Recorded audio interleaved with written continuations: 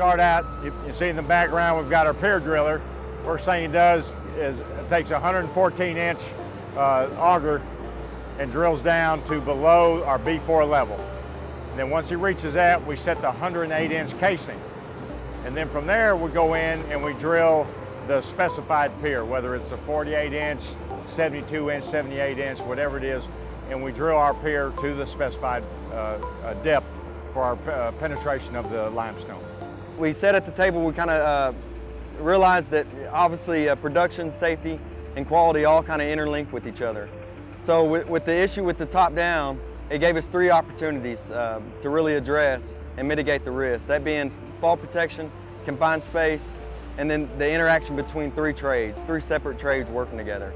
With fall protection, we had casings that were designed to sit 48 inches uh, above the subgrade, and it, which eliminated the, uh, the need to have uh, railing around the whole hole, which is 114 inches, as Sam was talking about. Um, another thing that we did was we brought in special davit arm systems that were able to um, clamp onto the side of the casing, bolt into it that had enough strength to hold these guys as they're going down in the hole. So not only are they uh, considered safe as far as their fall protection, but it's also a retrieval system that if, if something were to go wrong down there, then we could retract them up uh, safely and not have to have anybody else involved as far as going down in the hole. Uh, as far as confined space, or really the, the ladder system also, as far as the fall protection, we're designed to actually have uh, anchor points on it where guys could clip off and hang on to the, the, the, actual ladder system and work on the actual form, form work right there instead of having to sit there and uh, bring in the, an, another anchor system outside of that.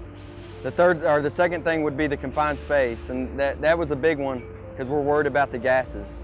So what we did was we brought in some, some special monitors that were able to, to test the air that far deep. A lot of them won't test it. So we realized that we, we would need to test the air that would be about 25 feet deep down in the hole to make sure before they before anybody went in it, we tested it and it, it passed, obviously, right?